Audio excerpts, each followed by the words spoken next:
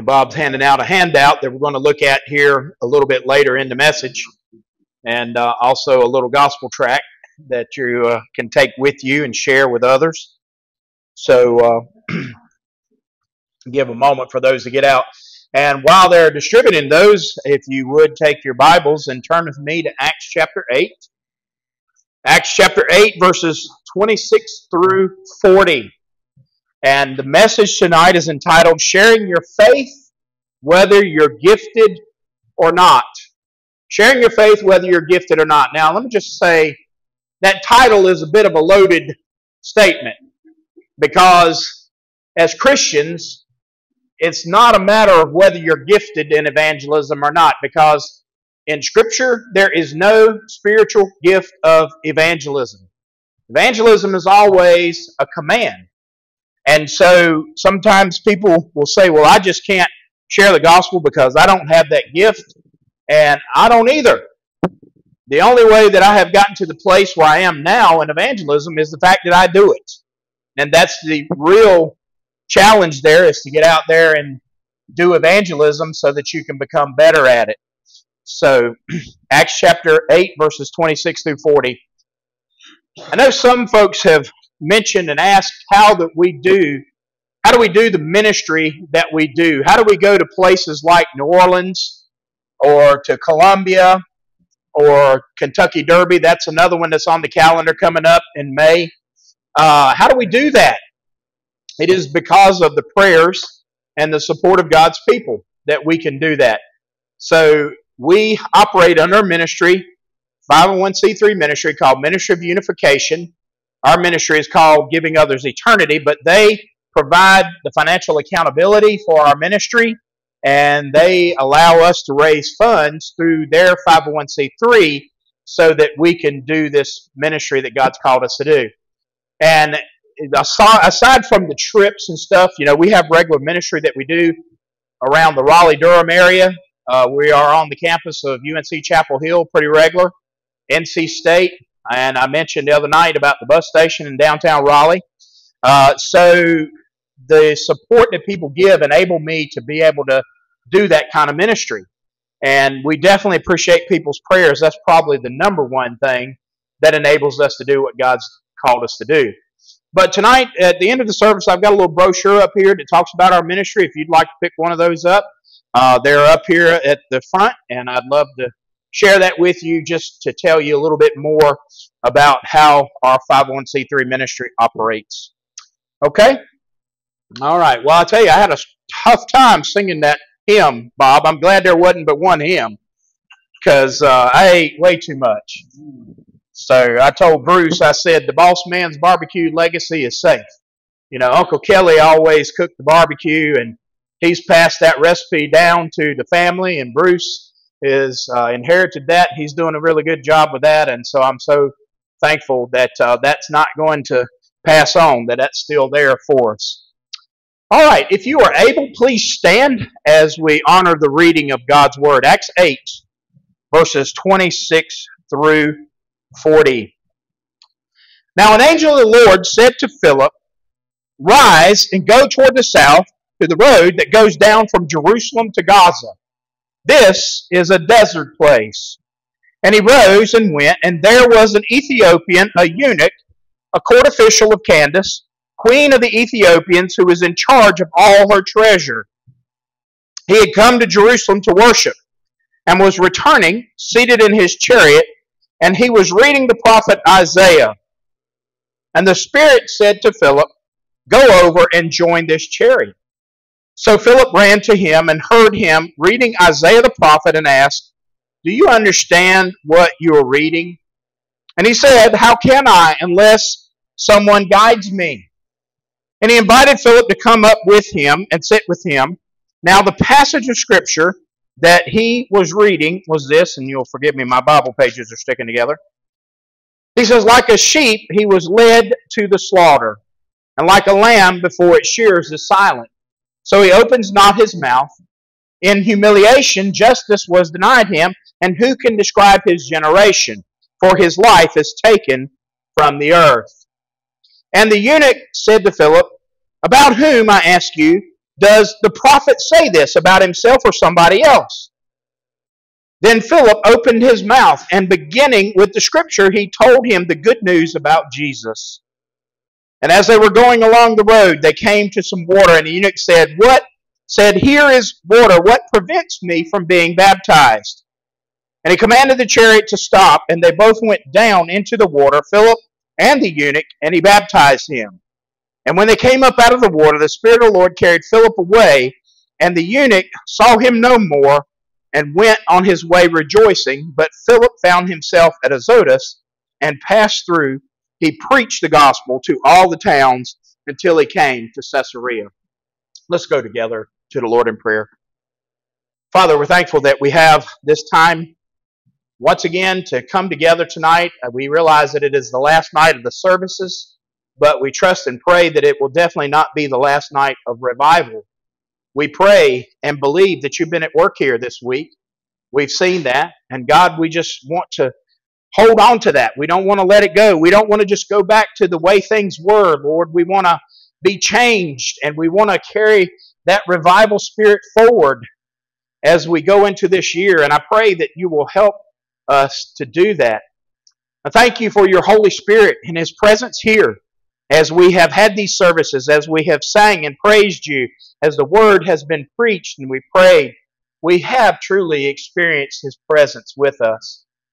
And Lord, now as we, pretend, we prepare to look at this passage, I just pray that you will help us to see that sharing the gospel with someone is not such a scary thing. It's not such a difficult thing.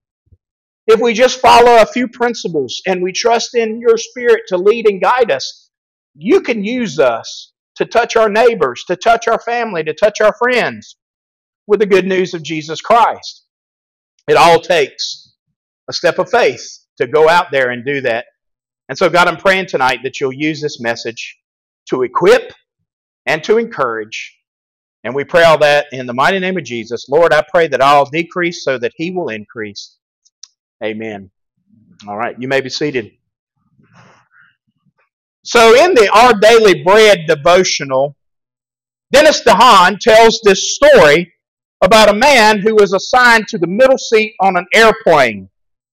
And he was kind of tired. He wanted to kind of rest a little bit, maybe try to catch a little nap, but he became irritated when this little girl beside him began to ask him questions. And the first question was this Mister, do you brush your teeth? And he says, Yes, I do.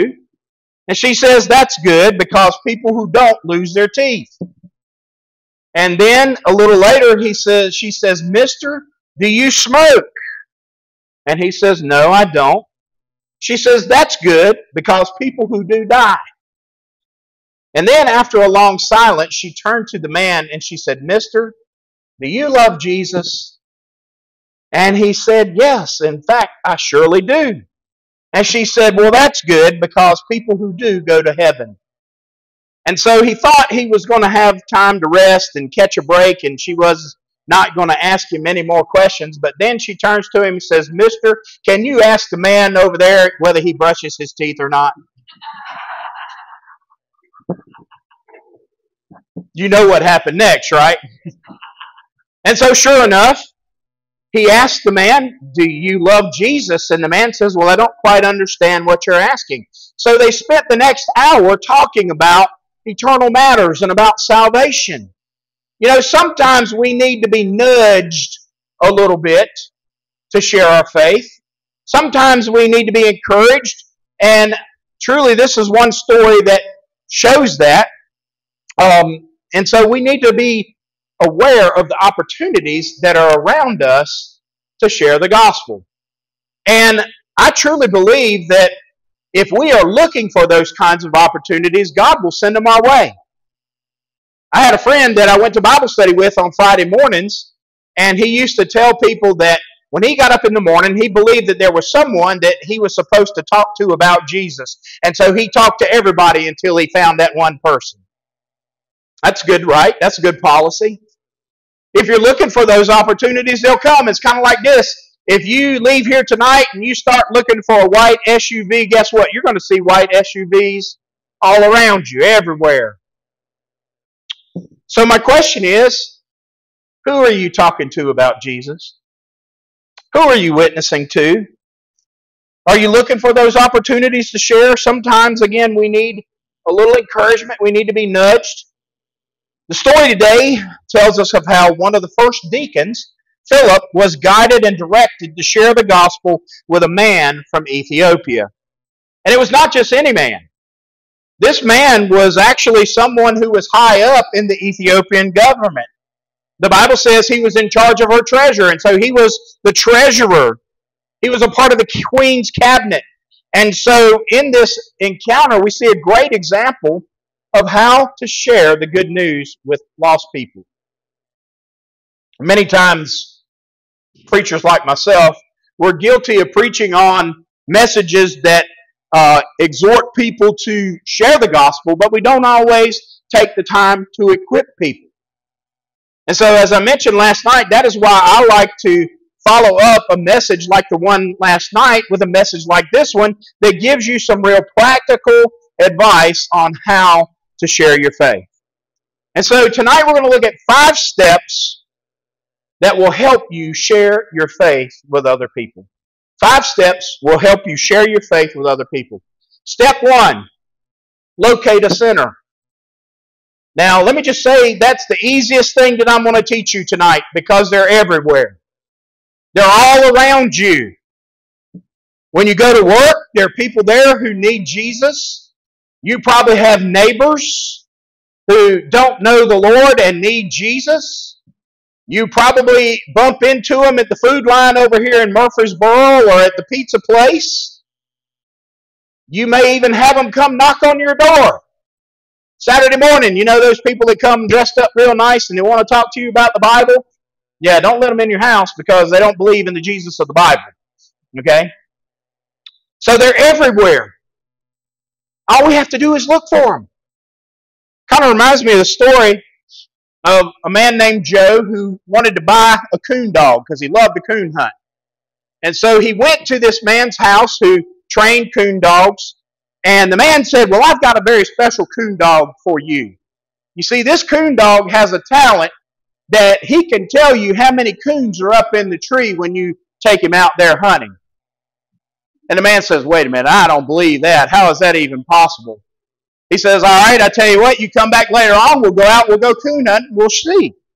And so, sure enough, they went out later and they turned the dog loose. And after about five, ten minutes, the dog started baying. And so they went over there to the tree where he was. And they said, All right, what, how many coons are up there in the tree? And the dog scratched on the ground twice. Man says there's two coons up in the tree. So he shined his light up there. Sure enough, there were two coons. Well, the other man said, I, I don't believe this. This is not possible. He says, All right, let's do it again. So he turned the dog loose again. Uh, about 10 minutes later, the dog started baying. They went over to where the dog was.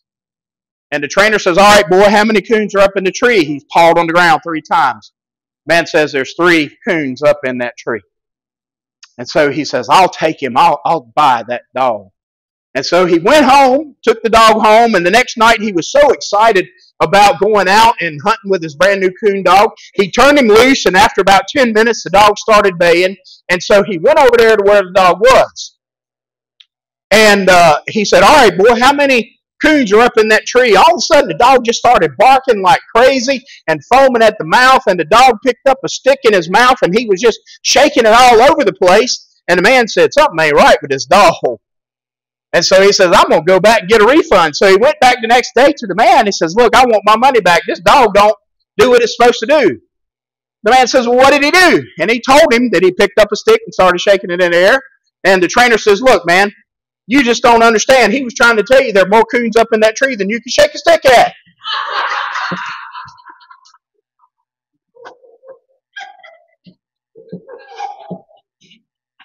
There's more coons out. There's more uh, lost people out there than you can shake a stick at. One of the issues we have with as believers, though, is we tend to kind of isolate ourselves from the outside world, from the lost. We kind of hunker down in our holy huddle in our Christian bunkers, and we don't necessarily hang out with lost people during the week. I heard Pastor Johnny Hunt say this one time, and it's always stuck with me. He said, The older we get as Christians, the further we move away from those for whom Jesus died. Think about that. As we get older in our faith, we seem to have less and less friends who don't know Christ. We just replace them with church friends. And there's nothing wrong with having church friends, but how are you going to reach lost people if you don't know lost people? Jesus didn't do that. We saw last night where the Bible said Jesus ate with sinners and tax collectors. So don't be like the deacon that I heard about. This is a true story. The pastor was talking to the deacons one night about sharing their faith, and one of the deacons said, Well, I don't know that I know any lost people. And then he says, Well, wait a minute, there was that one guy, but when I found out he was lost, I didn't have anything else to do with him anymore. That's not how we should be when it comes to engaging people who don't know Christ. We need to make friends for Jesus. So you got to locate a center. The next thing is this you got to listen to the Holy Spirit. Philip was led by the Holy Spirit of God. Look what it says, verse 5 in chapter 8. Philip went down to the city of Samaria and proclaimed to them the Christ. And then in verse 26, now the angel of the Lord said to Philip, Rise and go toward the south to the road that goes down from Jerusalem to Gaza. This is a desert place. And then a little later, verse 29, the Spirit said to Philip, Go over and join his chariots. And then in verse 39, and when, the, he, when they came up out of the water, the Spirit of the Lord carried Philip away, and the eunuch saw him no more and went on his way rejoicing. So each step of the way, Philip was following the guidance of the Holy Spirit. I believe that the Holy Spirit can guide and direct you to those who need Jesus, and He can and will give you what you need to say. I know that because I've seen it happen. I'll never forget years ago, we were up in Indianapolis, Indiana. We were doing an outreach in an inner city neighborhood, and we were kind of going around. We ended up in a Kroger parking lot, and there was a man sitting in an old Chevrolet van with his wife. And so I started engaging the man with the gospel. And as I was talking to him, I just felt like the Holy Spirit was impressing upon me that I needed to go around to the other side where the wife was. And so I did that. And when I did that, they opened the van door, and there they were, his children sitting in the back. And you know what? The Lord allowed me to lead all four of them to Jesus. It was all because of the Spirit's guidance. What does it say in Luke chapter 21? Verses 12 through 15. The context of this, by the way, is the times in which persecution come, and we as Christians will be persecuted. But Jesus said this He said, Before all this, they will lay their hands on you and persecute you, delivering you up to synagogues and prison, and you will be brought before kings and governors for my name's sake.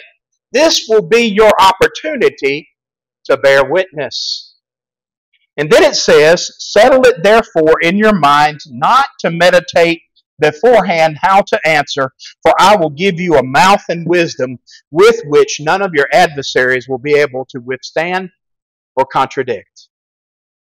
So that just tells us right there that the Lord will give us what we need to say in the time that we need to say it. He will call to mind those scriptures that we need to share with somebody. Realizing that this scripture again refers to those who are persecuted, I truly believe that the Lord can give us those words when we talk to people about the Lord. John 14, 26, it says, The Helper, the Holy Spirit, whom the Father will send in my name, he will teach you all things and bring to your remembrance all that I have said to you. So the Spirit of God will bring to mind the scriptures and the words that you need when it comes to witnessing. So that begs the question how does one recognize the voice of the Holy Spirit? How does one know that the Holy Spirit is speaking to our hearts? Well, let me tell you the number one thing you need to do you need to spend time in this book. Because this is God's Word. God moved upon the heart of man through the Holy Spirit to record this so that you and I could know Him. And the more you study and meditate on the Word of God, the more easily you will recognize the voice of the Holy Spirit. The Spirit speaks in a still small voice. It's interesting. If you think back to 1 Kings chapter 19, verses 9 through 12, right after Elijah had gone up against the prophets of Baal, and King, uh, Queen Jezebel threatened to kill him, the Bible says Elijah fled and he ran. He, he was scared to death. This man who had already defeated 450 prophets of Baal was scared of this queen.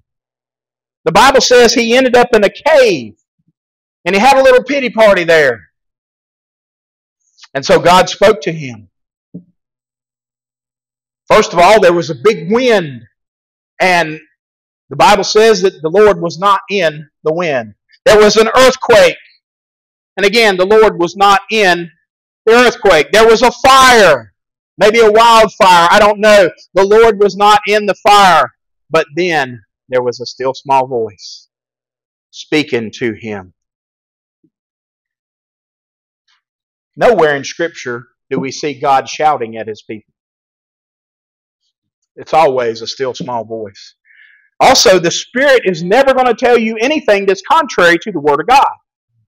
So if you hear something in your spirit and goes against what the book says, that ain't from the Lord. That's from the enemy. And then finally, we see in John chapter 10, verse 27 My sheep hear my voice, and I know them, and they follow me. If you've trusted Christ as your Savior, you're one of His sheep, and you hear the voice of the shepherd. I'm told that each flock could recognize the voice of their shepherd from the other shepherds. So that's fascinating. You could take all the flocks and combine them together. And, and they did that. They did that at night. They brought them all together. But in the morning, the shepherd would come and he would call for his flock, and they would come. They would separate themselves from the other sheep. You know, when you're when you belong to Jesus, you'll hear his voice and you'll follow him when he says, Come. And so we've got to rely on the Holy Spirit when it comes to sharing the gospel. That's, that's the work of the Spirit, my friends. Telling people about Jesus is his work. Then we need to look to the scriptures. Notice in verses 30 through 35, I believe the Lord was already at work in the heart of this Ethiopian. Why do you say that, Darrel? Because he was reading from the book of Isaiah when Philip found him. He was reading from the scroll. In those days, the scriptures were recorded on a scroll that rolled up. And so he was reading the word when Isaiah, I mean, when Philip found him. My friends, the scriptures are the believer's sole authority for faith and practice.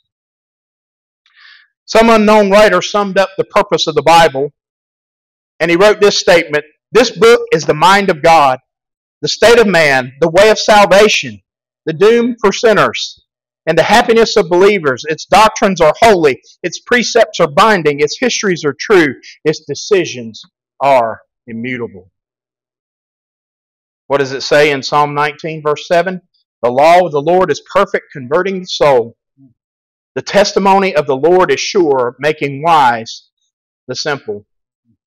You see, I've had people object to using God's Word, the Bible, when you witness to people. They'll say something like this Well, they don't believe the Bible. So why would you want to use the Bible? Well, let me just say their belief about the Bible does not validate the Bible or invalidate the Bible because it is God's Word. And so we don't need to fear using the Scripture because that verse right there tells us that the Lord uses the law to convert the hearts. The Lord uses the Word. And so if you leave out the Bible, in your witnessing, you have no power. You have no authority. If we remove the scriptures, we remove the means through which God works to convert people. Because the Bible says faith comes from hearing and hearing through the word of Christ. Philip was directed by the Spirit to go up to the chariot and he could hear that this eunuch was reading the Bible. Because in that day it was very common for you, when you're reading the Bible, to read it out loud. And Philip asked him a question. He says, Do you understand what you're reading? That right there is a very powerful question. Because honestly, most people don't understand the Bible. Some Christians struggle with that. The eunuch said, How can I unless someone guides me? You see, the Bible is a spiritual book, and it must be read and understood with spiritual eyes. It says in 1 Corinthians 2.14, the natural man does not receive the things of the Spirit of God, for they are foolishness to him, nor can he know them because they are spiritually discerned. God is working through his servant Philip to explain the scriptures, and the Holy Spirit opened this man's heart to understand. It takes the Word of God and the Spirit of God to do the work of God. Folks, I gave you a little handout. If you've got it, if you would look at it, husbands and wives share one. But it's the Roman road to salvation. Let me just say, this was the first way that I learned to share the gospel after I came to know Christ. At age 24, after I graduated from college, I have some college friends back here. I bribed him not to say anything, okay? But this was the first way that I learned how to share the gospel. And every scripture here is found in the book of Romans. First of all, we need to understand the truth that everyone has sinned. And it says in Romans 3.23, For all have sinned and come short of the glory of God. We have broken God's laws, and we do not live up to His standards. You ever lied before? You ever taken something that didn't belong to you, regardless of the value? Jesus said if you look at a person with lust or sexual desire, you committed adultery with that person already. You see, that's the law of God. And we've all broke it. I broke it. Brother Bob's broke it. Sin carries a penalty. The Bible says in Romans 6.23, For the wages of sin is death, but the free gift of God is eternal life in Christ Jesus our Lord. God, who is holy and just, has prescribed eternal separation from Him as the punishment for sin, and we cannot save ourselves. But God provided a solution, and that's the good news. The Bible says that God shows His love for us, in that while we were still sinners, Christ died for us. God allowed His perfect Son to be crucified as a sacrifice on our behalf. He died in our place, even though He never sinned. Jesus never sinned. He, he never sinned, even though uh, God treated Him as if He did. God treated Him as if He was you and I on that cross. And then we have to repent of our sin and believe the gospel. Romans 10, 9 and 10. Because if you confess with your mouth that Jesus is Lord and believe in your heart that God raised him from the dead, you will be saved. For with the heart one believes and is justified, and with the mouth one confession, when one confesses and is saved. And then it says in verse 13, everyone who calls on the name of the Lord will be saved. You can use those verses to lead somebody to Jesus. And I've even put an example of the sinner's prayer down here. Now, let me caution it's not the prayer that saves a person. You can pray that prayer all day long. You can get dunked in the baptistry all day long, and it's not going to save you. It's your faith in Jesus that saves you. God may use the prayer as an instrument to communicate your intention and your desire to Him, but it's all through Jesus. And then I put at the bottom, always follow up regardless of a person's decision. If you use this to try to lead someone to the Lord and they come to faith, praise God. Get them plugged in here at Buckhorn Baptist Church. If they don't, call them a couple of days later. Hey, have you been thinking about what we talked about the other day? Real simple way to share the gospel. Also gave you a little track. This is more of an illustration. Got this little card here. It's the bridge. And it shows how God bridged the gap between man and himself through the cross. And the only way to come to God is through the cross, through our faith in what Jesus did on the cross. And you notice on the back there's scripture to go right along with the illustration. I used this at the bus station the other day with a uh, teenager, and he says, You know, I've never heard it explained that clearly before. And it was all because he had a visual picture of the gospel and because the Holy Spirit was at work. the eunuch was reading from Isaiah chapter 53. Isaiah chapter 53 is one of the most wonderful chapters in the Bible because he looked down through the years and he saw Christ dying for your sin and for my sin. And he described that in there. He was oppressed and he was afflicted, yet he opened not his mouth, like a lamb that is led to the slaughter, and like sheep that before it shears is silent. So he opens not his mouth. By oppression and judgment he was taken away. And for his generation who considered that he was cut off and out of the land of the living, stricken for the transgression of my people. Verse 35. The Bible says Philip opened his mouth, and beginning at this scripture, he told him the good news about Jesus. And that's what it takes. We begin with the scripture and we tell them the good news about Jesus. It's that simple. You're saying, Darrel, I just don't get it. I don't think it's that simple. Yes, it is.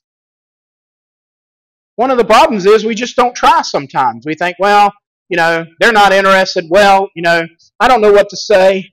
Listen, did you get saved yourself? Hello, did you get saved yourself? Are you saved? Then you know the plan of salvation because someone shared it with you. So that ought to be enough. And we just got to be bold enough to use it. You know, do you understand that even the Apostle Paul had to pray for boldness? Go look it up at the end of Ephesians, Ephesians chapter 6, I believe it's verse 19 or so.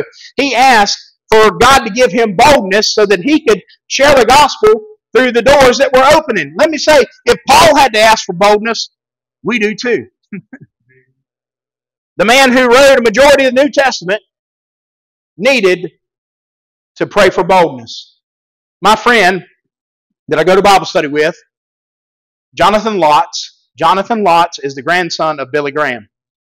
And Jonathan Lotz is also an evangelist. And people ask him, and I agree with this. People ask him, how are you, Jonathan, how do you how do you so easily share the gospel? He says, I do it scared every time. I do it scared every time myself. but I know the Holy Spirit is there, and I know the Word of God is active, and so the next thing is this we need to let the Holy Spirit do his job. Philip and the eunuch were riding in the chariot. The Spirit of God was speaking to the heart of the eunuch. And it says, They came to water, and the eunuch asked, Here is water. What prevents me from being baptized? Now, if you have a newer translation of the Bible, you'll notice that it may leave out verse 37. There's a reason for that. There's a reason that it leaves it out, is because some of the older manuscripts that are considered more reliable don't have that verse. And they put it in the footnote. But I believe it belongs in there because this is Philip's response in verse 37. Philip said, If you believe with all your heart, you may. And he answered and said, I believe that Jesus Christ is the Son of God. That's a profession of faith that was inspired by the work of the Holy Spirit. Got to let the Holy Spirit do his job. You can have the most clever argument for the reason why people need to trust Jesus, and it'll fall flat on its face if the Holy Spirit is not behind it. When we think about his baptism, we know that baptism is an outward witness of an internal change of heart by the Spirit of God. And so we're not baptized to be saved, but we are saved by faith and baptized because of our professed faith. I shared this scripture last night. I'm going to share it again. John 6 44. No one can come to me unless the Father who sent me draws him, and I'll raise him up on the last day. The idea, again, is enabling us to come to Christ. And we need to understand that the Holy Spirit is the one who works to enable men to come to Christ. In Titus 3:5, the Bible says he saved us not because of works done by us in righteousness, but according to his own mercy, by the washing and regeneration and renewal of the Holy Spirit. Heart change comes through the Spirit's work. Even though God chooses us to share the message, we cannot save a single soul. God does that. God does that. And, and, and if you take credit for it, God doesn't share his glory with anybody. We just get to be there when the fun happens. Such a wonderful experience when you get to see someone trust Christ. You get to see the life change that takes place in their hearts as a result of meeting Jesus. And the Holy Spirit is our best friend when it comes to witnessing for Christ. He can speak in a way that to people that we cannot do. It says in John 16, 7 and 8, Nevertheless, I tell you the truth, it is to your advantage that I go away, for if I do not go away, the Helper will not come to you, but if I go, I'll send him to you. And when he comes, it says three things. He will convict the world concerning sin and righteousness and judgment. The Holy Spirit convicts people of their sin. The Holy Spirit also convicts people of the fact that God is a righteous God, a holy God. And that if we don't turn from our sin, that we're going to stand before Him in judgment. And that's all the work of the Holy Spirit. You just got to let the Spirit do His job. And finally, we're about to land this plane, okay? We need to live to share Jesus wherever God calls us. Notice after he baptized this Ethiopian eunuch, the Bible says that the Spirit of God ushered Philip away and he sent him to an area called Azotus. And then Philip continued to preach the gospel all the way to Caesarea. God didn't allow Philip to go back to the thriving ministry he had in Samaria because God was doing a work in Samaria. And Philip was there preaching and people getting saved and, and but God said, No, I got other work for you to do. I got other places for you to go. God has places for you to take the gospel. And let me just say, you'll probably be able to reach some people that I'll never be able to reach. Or your pastor will never be able to reach. Why? Because you come in contact with them all the time. I saw something disturbing today, Bob. I saw that less than a third of people have confidence in the integrity of pastors, according to a survey. Yeah. So that tells me that we pastors need to do something to correct that. And that also tells me that they'll listen to you before they'll listen to me.